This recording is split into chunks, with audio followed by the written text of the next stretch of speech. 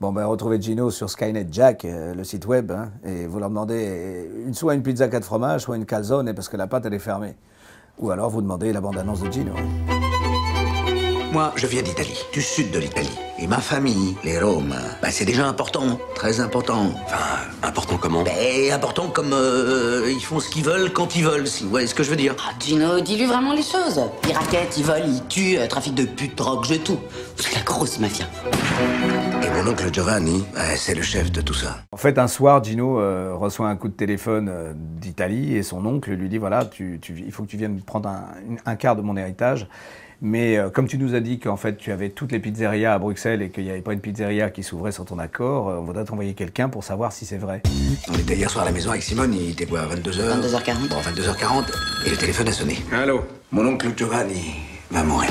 Siete un quarto di ciò che gli appartiene, prima di dartelo, vorrei essere sicuro che tu sia diventato un vero boss. Et il dit écoutez, euh, là je suis super embêté parce que là c'est pas possible. Donc, mais vous inquiétez pas, il y a- je suis tellement connu à Bruxelles qu'en fait il y a, quelqu'un qui fait un documentaire sur moi. Et donc je rappelle la bande de bras cassés euh, menée par Samuel Benchetrit, qui est aussi le réalisateur du film. Et je lui demande de faire un vrai faux documentaire euh, sur ma vie de vrai faux mafieux. Ma certo che sono un boss En fait, vous voulez faire un film sur une autre vie où vous seriez des mafieux. Voilà. Donc c'est une famille qui se met à faire du cinéma avec euh, vraiment le- ce qu'on fait vraiment de moins bien en tant que réalisateur, preneur de son, caméraman, et qui décide bah, avec 500 euros de, de faire un faux documentaire. Autant vous dire qu'on va essayer d'utiliser tout ce qu'on tout ce qu'on trouve parce qu'on n'a pas vraiment les moyens. Pour une grande maison avec, euh, avec des grandes colonnes, euh, je vois du marbre, des statues. Un peu comme euh, celle de ta mère, Jacques. Ah mais non, mais laisse tomber. Elle ne la prêtera jamais.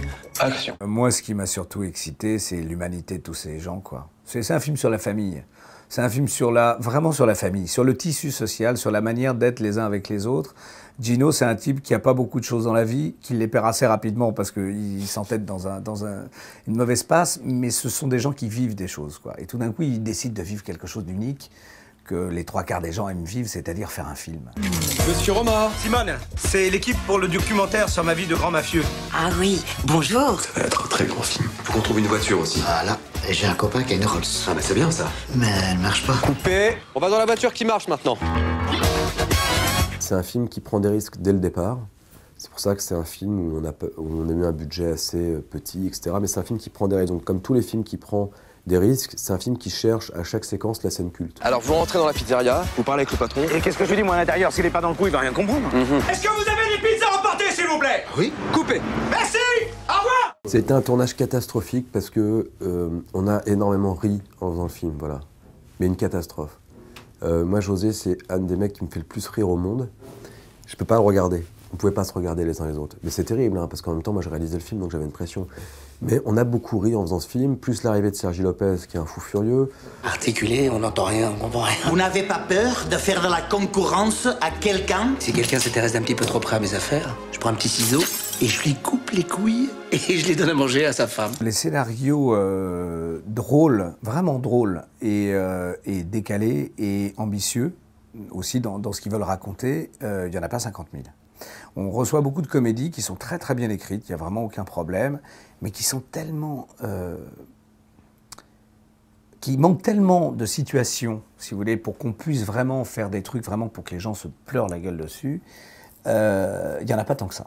Moi, ce que je recherche à chaque fois, c'est euh, soit des films qui ont une ambition, par exemple comme le Mac, de, de, de- de passer de la comédie à tout d'un coup à un truc plus chiadé dans l'image, qui soit beaucoup plus gangster, euh, et même s'il y a moins de situations qui sont hilarantes, soit de trouver bah, des petits films comme ça qui, qui nous permettent en tout cas d'être dans des situations complètement tordues. Et si on provoque le rire, pour ceux à qui ça, évidemment ça fait rire, hein, parce que le rire c'est quand même assez, euh, c'est comme la musique, hein, ça, on peut, peut pas faire rire tout le monde. Il y a des gens qui vont nous trouver très très lourds, mais mais euh, quand on provoque le rire, en tout cas, il faut qu'il soit euh, jubilatoire, il faut qu'il soit généreux. Et la seule manière d'être généreux, c'est d'avoir des situations qui nous permettent d'inventer des trucs ou de faire des, des blagues de potache ou de trouver des, des choses complètement débiles qui, avant tout, nous font rire nous, qui font rire toute l'équipe technique parce que pendant qu'on est en train de la faire, personne n'y croit. Et c'est tellement débile que, bah, qu'au final, bah, normalement, ça doit faire rire aussi euh, plein d'autres gens, quoi. Je suis celui qui va te couper les couilles pour les donner à bouffer à ta femme. Alors là, vous êtes mort. Simone Gonzalez n'est pas un acteur.